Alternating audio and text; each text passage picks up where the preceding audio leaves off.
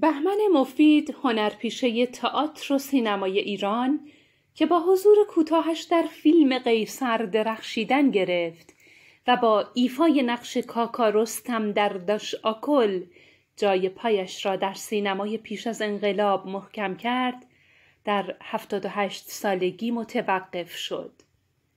آقای مفید اگرچه از تجربه تئاتری مستحکم با پشتوانه تحصیلات آکادمیک و سنت خانوادگی قوی در عرصه هنر نمایش به سینما آمده بود.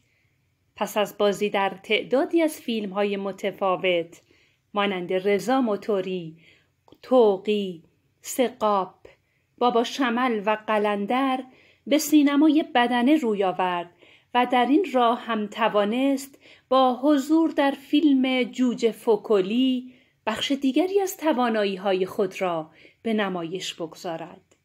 اما استمرار حضور در این فیلم ها که بخش قابل توجهی از کارنامه او را تشکیل می دهد بهمن مفید را از حضور در سینمای متفاوت آن سالها باز داشت.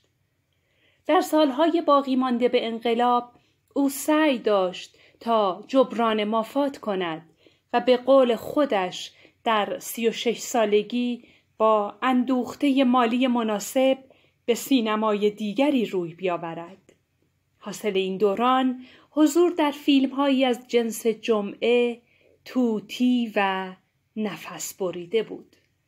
آخرین حضور بهمن مفید در سال 1383 پس از بازگشت از آمریکا در فیلم سرود تولد رقم خورد که مقامهای وزارت ارشاد وقت این حضور را هم تاب نیاوردند و صحنه های مربوط به او را حذف کردند.